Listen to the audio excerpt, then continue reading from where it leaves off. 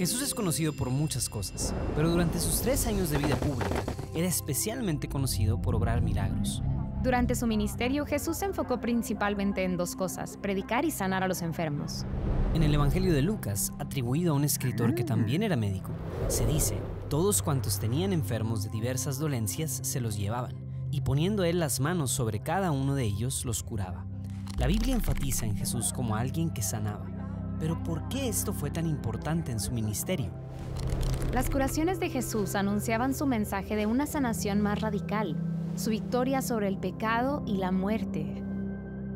La enfermedad y la muerte no son parte del plan original de Dios para nosotros, y las curaciones de Jesús lo comprueban. Jesús quiere sanarnos.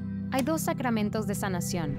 El primero es la reconciliación, que sirve para sanar nuestra alma, ya que Jesús perdona nuestros pecados. El segundo sacramento sirve para lidiar con diferentes enfermedades físicas. La enfermedad, el sufrimiento y la muerte son signos de los problemas más grandes que enfrentamos en la vida. Sin embargo, la enfermedad física puede llevarnos a alejarnos de Dios, ya que nos sumerge en el ensimismamiento y en la desesperación. La muerte es algo a lo que todos debemos enfrentarnos. Para levantarnos con Cristo primero debemos morir en Cristo. Pero Jesús quiere estar con nosotros en nuestro sufrimiento. Por eso Jesús le dio a la iglesia el sacramento de la unción de los enfermos, a través del cual continúa ofreciendo fortaleza y salud mediante el ministerio de la iglesia. El sacramento de la unción de los enfermos tiene tres partes, la oración de fe, la imposición de manos y la unción con el óleo. Las palabras de este rito dicen, por esta santa unción y por su bondadosa misericordia, te ayude el Señor con la gracia del Espíritu Santo, para que, libre de tus pecados, te conceda la salvación y te conforte en tu enfermedad. La unción de los enfermos es para quienes están en peligro de muerte por enfermedad o vejez. Se nos invita a buscar a un sacerdote cuando enfrentamos una enfermedad grave Jesús quiere ofrecernos la gracia de este sacramento y el sacerdote puede orar con nosotros en medio de nuestro sufrimiento en representación de la iglesia. Es uno de los sacramentos que puede ser recibido más de una vez. Los efectos de este sacramento incluyen al Espíritu Santo dándonos la gracia y su fuerza. También fortalece nuestra unión con la pasión de Jesús. La unción de los enfermos también nos prepara para nuestro viaje final de esta vida. Cuando lleguemos a nuestros últimos momentos en la tierra, muchos quisiéramos estar rodeados de seres queridos y nuestras familias y seres queridos quisieran estar allí con nosotros para fortalecernos, animarnos y para orar con nosotros. De la misma manera, Jesús y la Iglesia quieren estar allí para nosotros cuando estamos enfrentando una enfermedad mortal o en los últimos momentos de nuestra vida. Por el ministerio del sacerdote, Jesús y la Iglesia están allí con nosotros en nuestro viaje final de vuelta a nuestro hogar en el cielo. San Pablo dice que si un miembro del cuerpo de Cristo sufre, todo el cuerpo sufre. Esto significa que al unirnos con nuestro sufrimiento a la pasión de Jesús, Él puede usar este sufrimiento para el bien de la iglesia. San Pablo explica, completo en mi carne lo que falta a las tribulaciones de Cristo en favor de su cuerpo, que es la iglesia.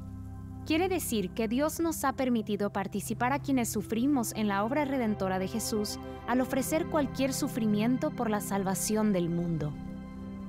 La Iglesia ofrece la Eucaristía a quienes reciben la unción de los enfermos y a quienes están cercanos a la muerte. A esto se le llama el viático, que significa provisión para el camino. Este es el último sacramento del cristiano, que recibe la Eucaristía y las oraciones de la Iglesia como alimento para el viaje final a casa, a nuestro hogar en el cielo. La reconciliación, la unción de los enfermos y el viático componen lo que la Iglesia comúnmente llama los sacramentos que cierran la peregrinación. Jesús quiere que seamos sanados. A veces somos sanados físicamente si esa es la voluntad de Dios y si eso nos acercará a Él. Pero es más importante ver que todos caminamos hacia el cielo. Así como nuestros seres queridos quieren estar con nosotros en la necesidad, Jesús quiere fortalecernos para no caer en la desesperación ni en el ensimismamiento. El sufrimiento nos permite unirnos al sufrimiento de Cristo y transformarlo en un sufrimiento redentor. Así es como Dios nos ofrece la gracia para fortalecernos en la enfermedad, a través del sacramento de la unción de los enfermos.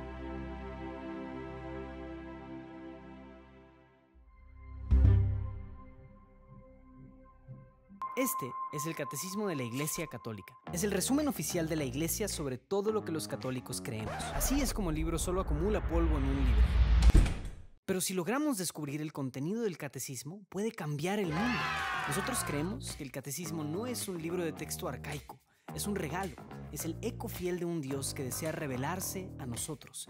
El corazón del catecismo es Jesús, y Jesús cambia corazones. Solo tenemos que transformar el catecismo en una voz viva que las personas puedan escuchar. Así que estamos ayudando a desbloquear el catecismo. Estamos transformando las letras en una voz viva para el mundo moderno.